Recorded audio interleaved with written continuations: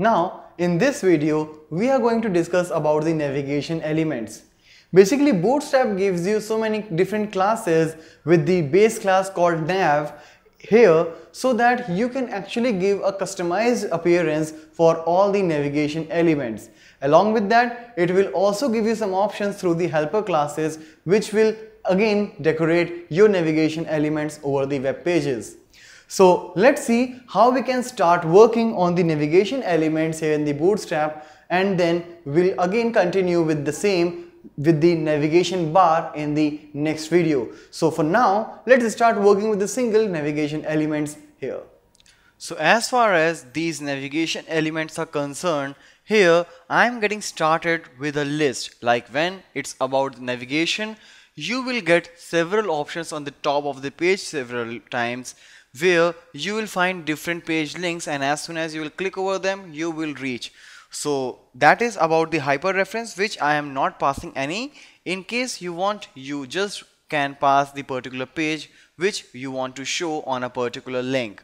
So let's start with that. So as soon as I started with this unordered list, I decorated that with the class nav. This nav class will make any list as the navigation elements.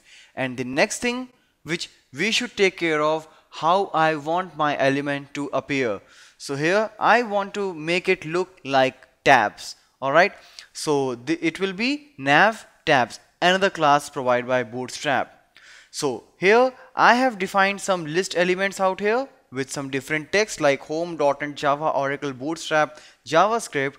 If in case you want to show any link as selected one as the active one you can use the class active. All right? So let's execute and see how this particular page is looking like right now. So this is something called a tabular uh, layout. All right? So this one is active. All right? So that's why this particular block is like selected. If I'll remove this active from here and we'll put it in some other element so it will be like changed. All right this is bootstrap. It is only used for designing the things. If you want to do all these things uh, dynamically you have to go for some other technologies where you can use javascript for doing such things. Like maybe J jquery you can use as well. So that was the tabular representation of your navigation element. If you want you can also use another class called pills alright so as soon as uh, you will do that here the appearance will be changed just a bit alright so now it's not looking like tab structure but it is highlighted. Similarly if you will choose the active class for any other element that will be set as the background blue alright so here you can see these menus these navigation elements are actually horizontally. If in case you want to make them vertical you can use another class called nav stacked. So let's put that and refresh and here you can see since the width is not defined so that's why it is taking the complete width of the page alright? But in case you will use any grid system or in case you are using any table so it will just occupy that particular width which you will de designate for this alright so similarly, when it was on its default appearance, like when it was like the horizontal list, you can see it is not taking the complete width.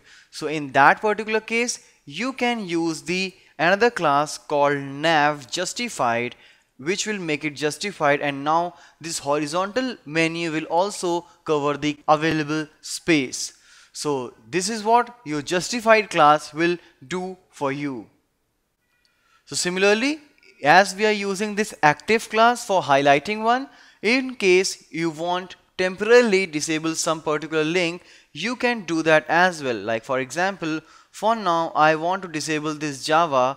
So in that particular case, I can just use the disable class. So generally we use this active and disable class whenever we want to select or disable some particular element. So now Java is disabled which you can see from the mouse pointer and this one is the selected one means the active one. So these are all the things which you can do with the navigation elements in Bootstrap.